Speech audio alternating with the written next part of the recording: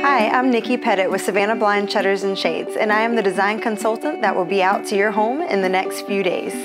Our team has a combined experience of 16 years helping clients like you enhance the beauty of their windows.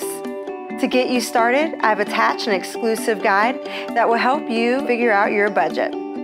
So go ahead and look over it, because if we can make some decisions while I'm there, I can add some bonuses just for you.